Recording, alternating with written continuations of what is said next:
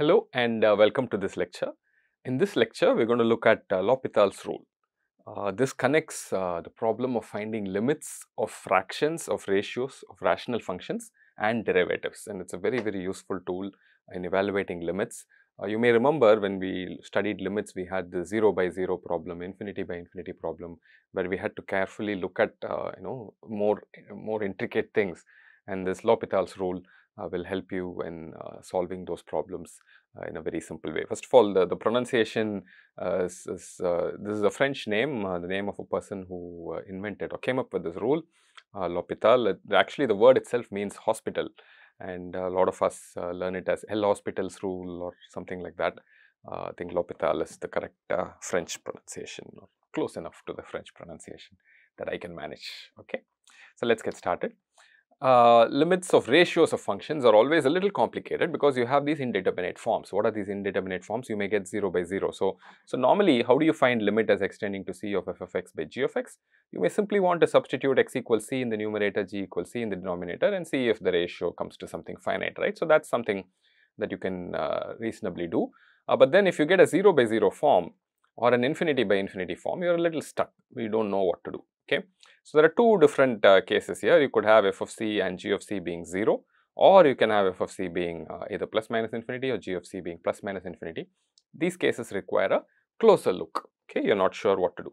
So, the basic idea behind L'Hopital's rule is to use derivatives to solve some of these uh, indeterminate cases. In most cases it works, in some cases it may not work, but more or less in every case uh, it will work. Okay. So, let us see what the rule is. The rule is very simple. Okay. So, here is the rule. If uh, f and g are differentiable in an uh, in an interval, okay, in an interval uh, a comma b, uh, maybe maybe at c they are not uh, the they may not be differentiable. That's okay. At c something can happen, but generally in the interval a b they should be differentiable except at uh, one point c maybe right the point c in which you're taking the limit right. So, there you don't care too much okay and otherwise they need to be differentiable. And then uh, we are going to suppose that the denominator in this f of x by g of x, uh, the denominator, the, the derivative of the denominator does not go to 0. Okay. Once again, in this interval, except possibly at c. Okay.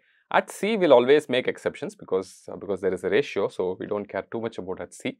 But outside of c, f and g have to be both differentiable and the derivative of g should not vanish, should not become 0 because you are dividing by that. Okay. And then what should happen? Look at this lot of conditions but then what should happen f prime of x by g prime of x that limit as x tends to c should be equal to L. So, this limit should exist the derivative ratio limit should exist. If that happens then okay finally the condition comes if you have f of c equals g of c equals 0 or g of g of c is plus minus infinity okay. So, you should either have both f of c and g of c being 0 or you should have g of c being g of x, g of c, the denominator going off to plus minus infinity. Then it turns out the limit as extending to c of the ratio f of x by g of x is the same as the limit as extending to c, c f prime of x by g prime of x. Okay. So, a lot of things to unpack. Forget about these kind of conditions, you know, these are technical conditions. This differentiability, most functions we give will be differentiable, don't worry. Uh, but this condition is important. g prime of uh, x should be non-zero outside of c that is important. And this condition is also very, very important. Only when this is true, this condition holds, right? f of c should be equal to g of c should be 0 or g of c should be plus minus infinity. one of these two conditions should hold. If they hold, then the limit as extending to c of f of x by g of x ends up being equal to limit as extending to c of f prime of x by g prime of x. So, you can take the derivative in the numerator, derivative of the denominator and then take the ratio and then take the limit, you get the same answer, okay, provided this limit exists, okay. Why is this useful? Because in many cases, f prime of x by g prime of x will become significantly simpler than f of x by g of x because we, we have already seen right in polynomials if you keep on differentiating eventually you get a constant and then you get 0 right.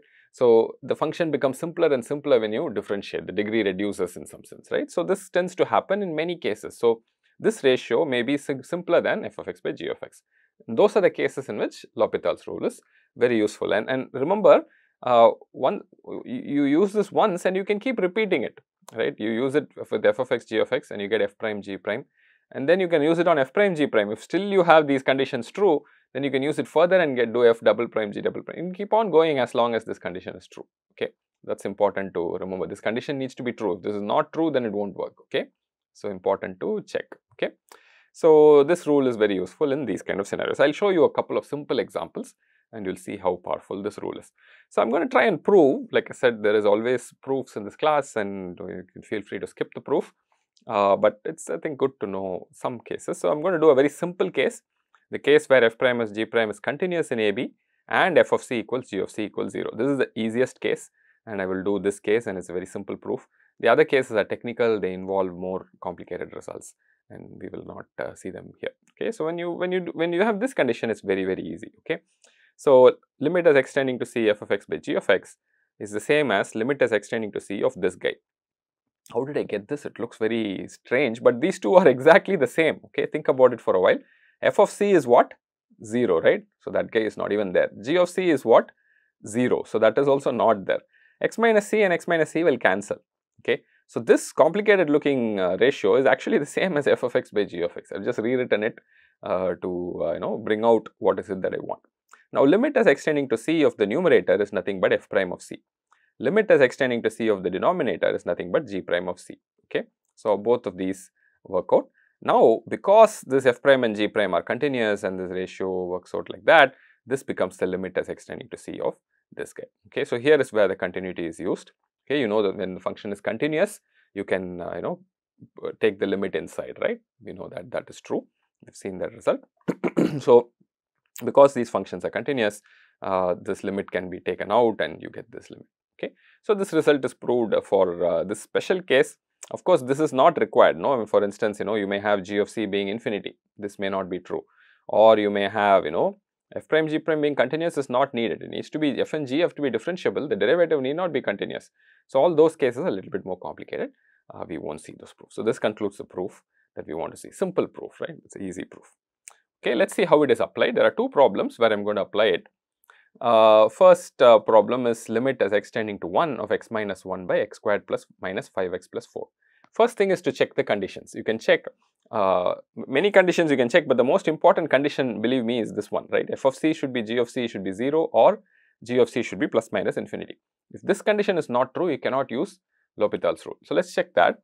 If, if, you, if, you, if you put x equals 1, numerator goes to 0, denominator also goes to 0, right? 1 minus 5 plus 4, that's also 0. So, you have 0 by 0, that's okay. And all the continuity differentiability will be true because we are dealing with just polynomials. You know, polynomials can be, uh, are differenti differentiable, continuous, all of that is true, okay. So, uh, so this is uh, numerator 0, denominator 0 case. So, all you have to do is to evaluate the derivative of this to find the limit. So, let us do that.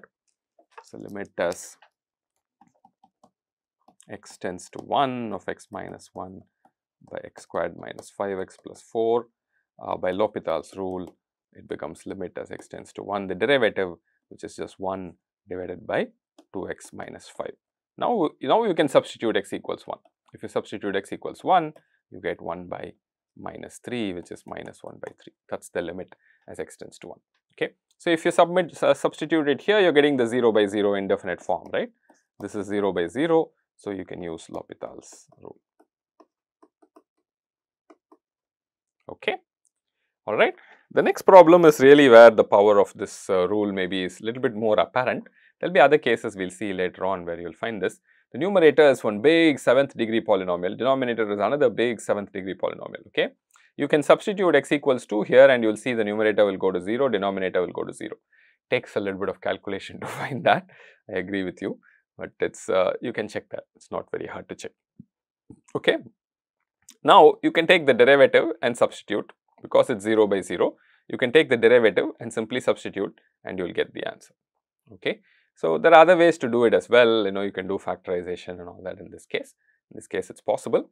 We'll see that there are other cases where uh, this is even more powerful. But you see in these kind of problems when you get a 0 by 0 indefinite form uh, you, you need to differentiate and do it. Okay? I'm going to leave this as an exercise to you you, you differentiate and uh, you will see that in the numerator and denominator you will you'll probably get non-zero once you differentiate and you can substitute and get the answer. Okay, so such ugly looking expressions also L'Hopital's rule is very useful. So once again what is uh, L'Hopital's rule to summarize?